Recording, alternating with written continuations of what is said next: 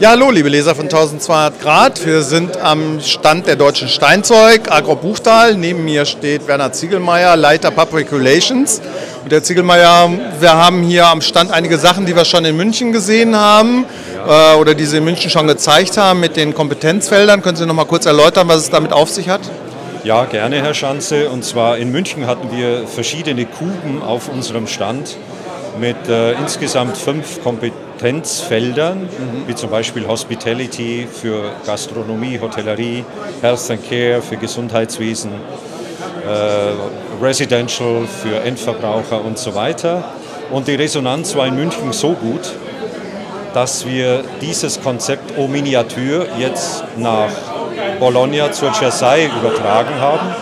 Auch deshalb, um das oft äh, ja, wie soll man sagen, bestönte Neuheitenkarussell nicht äh, neu anzuheizen. Wir haben Neuheiten im nächsten Jahr, haben die jetzt aber nicht fantasielos hierher gepflanzt, sondern wie gesagt, diese Kompetenzfelder o Miniatur zur Chersei übertragen. Mhm. Die Chersei zeigt ja ohnehin andere oder spricht eine andere Zielgruppe noch ein bisschen an, also von daher ist es international, kann man sagen, ja die Premiere dann für die Kompetenzfelder. Das haben Sie schön formuliert. Genauso ist es. Die Besucher der Bau sind nicht identisch ja. mit der Cersei. Ja.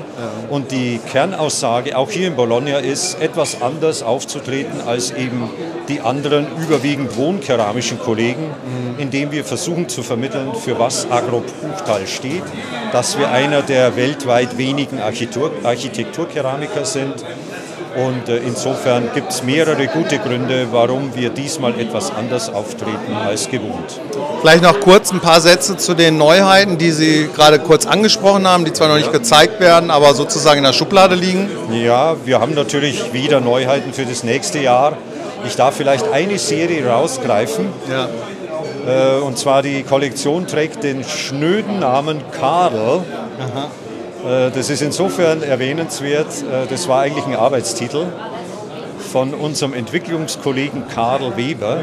Und äh, Herr Weber hat sich dann so engagiert für diese Serie, dass wir gesagt haben, aus dem Arbeitstitel wird jetzt der offizielle Titel.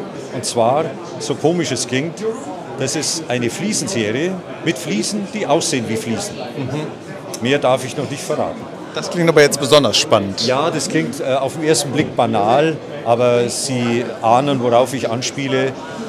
Die üblichen Optiken, die wir alle kennen, mit Digitaldruck, mit Hol in Holzrichtung, mit Stein, mit erdigen Tönen, die sind natürlich nach wie vor en vogue.